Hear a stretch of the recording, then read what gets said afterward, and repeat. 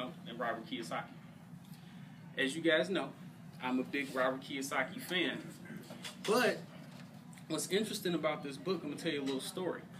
I I wasn't a Donald Trump fan because a lot of people have different opinions about him and all of the different things that he does, and I was one of those people too.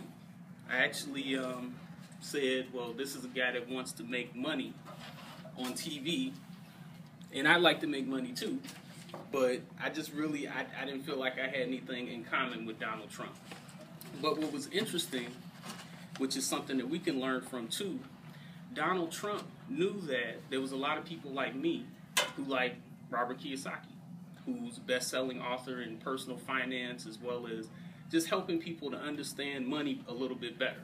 Because like a lot of us, unless you had a family background that was really deep into understanding money, most of us, you know, did the, the normal thing, going to school, get good grades, hope for the best. But unless your family was in finance or had something to do with that, most people that I've encountered, they just kind of do what everybody else does. So the inspiration for buying this book came from a previous book that Robert Kiyosaki and Donald Trump did called Why We Want You to Be Rich. And when I saw that book, actually Sherry showed me the book. I got it because I always like Robert Kiyosaki stuff, but that title intrigued me why we want you to be rich. We all know Donald Trump is rich, he's a billionaire, and I knew that Robert Kiyosaki was a millionaire. But that title, I said, why do you want to be rich? That's very interesting. When in 2007, that's when I actually got the book, I read it, and it was very insightful. And it actually helped me to understand the perspective that Donald Trump has because the things that are in his book are different than what he shows on TV. And a lot of times, that's something that I want to share too. Sometimes we see people's persona on the internet, but then the things that they share personally are a little bit different. And I know the masses of people see all of the stuff that he puts out on TV, on the internet, but the things that has actually driven him through the years, because he's actually been doing real estate since 1974. I was going over the book again to, um, yesterday. In 1974, I think he was 25 years old. And that was an interesting thing to know because a lot of us don't know that he's been doing it that long. And a lot of people that we see on the internet, just like Robert Kiyosaki mentioned it too, in this book, people think that a lot of folks are overnight success. But Robert Kiyosaki and Donald Trump had actually been cultivating their careers for over 30 years. But they got a break where people can see them now the insights that I got from reading this book is the fact that Robert Kiyosaki and Donald Trump divided it into five chapters. I'm going to share what those five chapters about.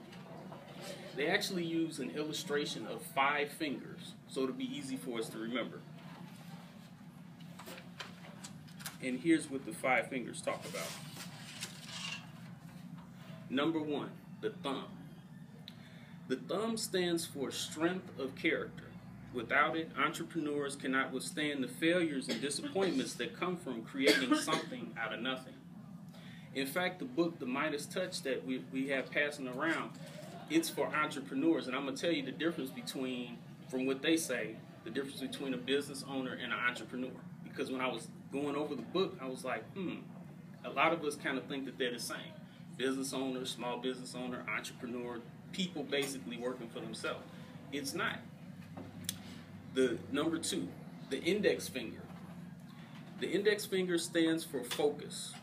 Entrepreneurs must be must have the proper focus if we really want to succeed. Number three, the middle finger, or what they call the longest finger, is all about the brand, which reflects what you stand for. In fact, we talked about that last week with the Magic Johnson book. Everybody's really focusing on branding. Branding is probably more important than anything else. Number four, the ring finger is about relationships.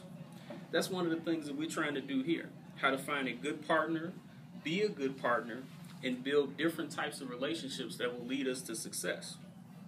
Number five, the little finger.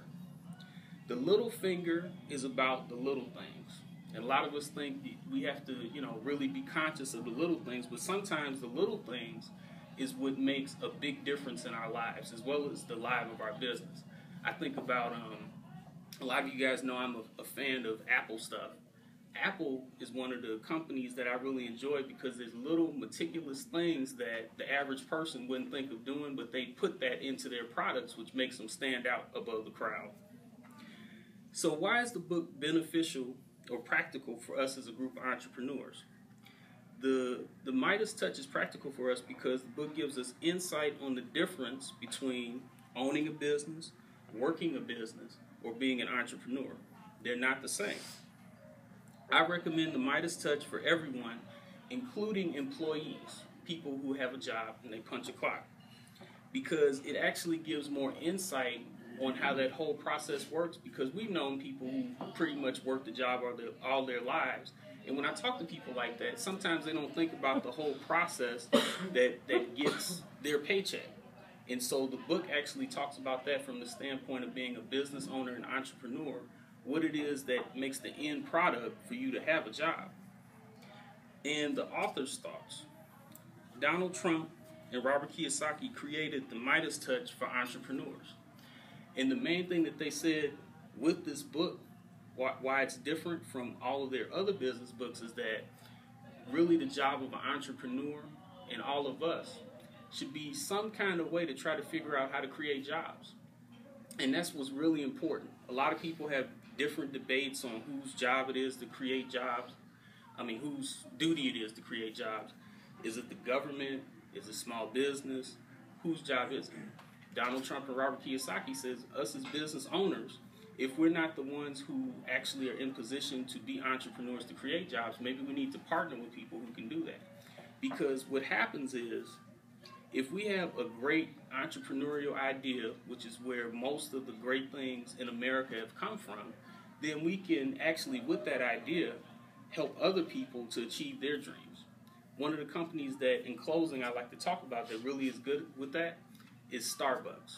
Starbucks has a lot of employees, but one of the things that they're really known for is they will actually cultivate a person's dream that has nothing to do with Starbucks. Actually, help push them along to do whatever it is that they want to do. So that's what I wanted to share today. The Midas Touch. I hope that you guys don't just listen to this, but actually buy that book. I actually have the audio of it too, because a lot of us don't, you know, I'm not a just power reader. But as we're going back and forth doing our travels, you can get that book done in less than a week. I'm Randall Phillips with Great Day Coaching. Thank you.